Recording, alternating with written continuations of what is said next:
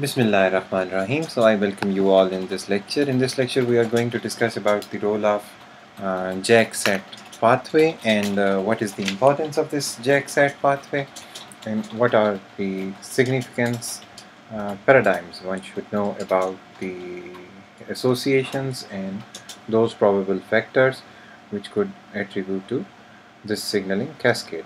So briefly before we uh, go into any um, what you can say the additional details we should know about what are the salient elements that are responsible for the activation of JAK-STAT pathway.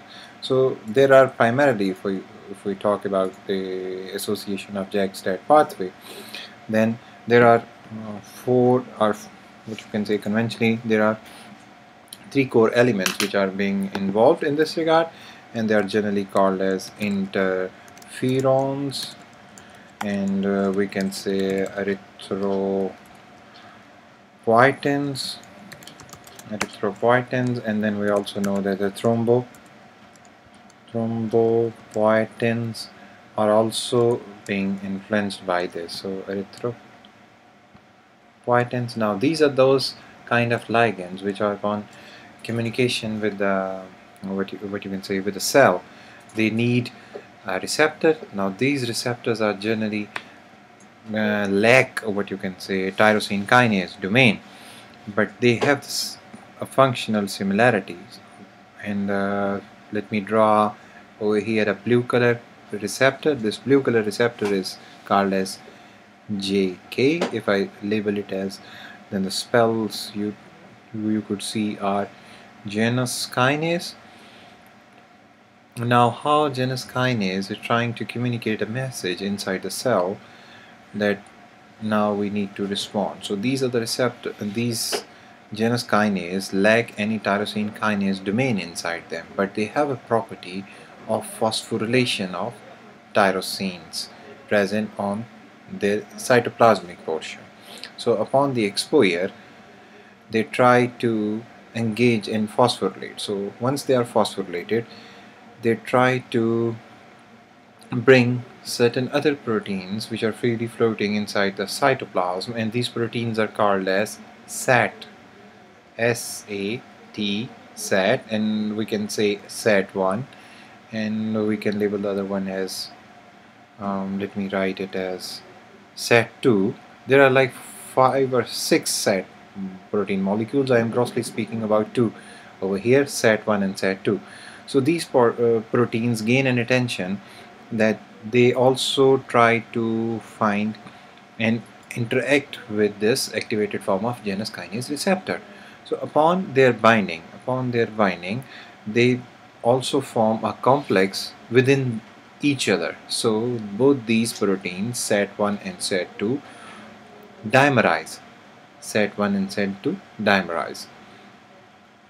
So this dimerization this dimerization is very important because this dimerization induces a signal and it is responsible for its uh, what you can say it's in it is responsible for induction of certain messages inside the nucleus to increase the transcription of uh, proliferative factors. These proliferative factors may be called as MYC and then they are also responsible for the suppression of certain uh, pro-apoptotic genes like BCL which is responsible and it should be spread. BCL anti-apoptotic properties should be increased. So uh, increased expression of CMYC is done by STAT complex. STAT S-T-A-T and STAT basically means signal transducers of signal transducer of activators and transcriptions. Signal transducers of activators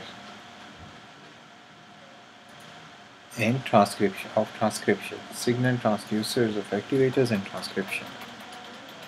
And transcription. So they are basically meant for so they are the signal transducers of activator and transcription and transcription you can say right now there are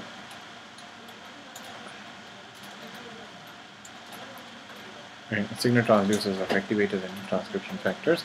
Now, once these are uh, signal transducers are being induced, these uh, signal transducers dimerize and these dimerization is being influenced by certain factors and those factors are called tyrosine phosphorylations. Now these tyrosine phosphorylations uh, is a two-way streak.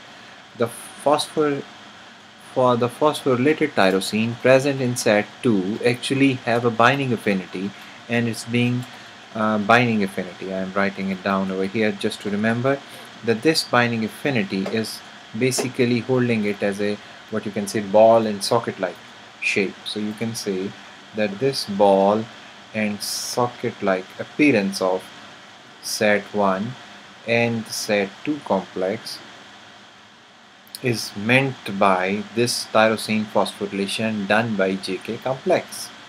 Okay, so that is the reason of binding affinity of both these receptors, STAT1 and STAT2, to trigger the process. And then once the JK pathway is activated, JKS pathway, STAT pathway is being activated, it is responsible for the uh, progression of cells. Then this pathway role is more, mainly pronounced in hematopoietic systems and all those factors which are rarely addressed in terms of growth signals as we conventionally say in uh, EGFR and FGFR pathway.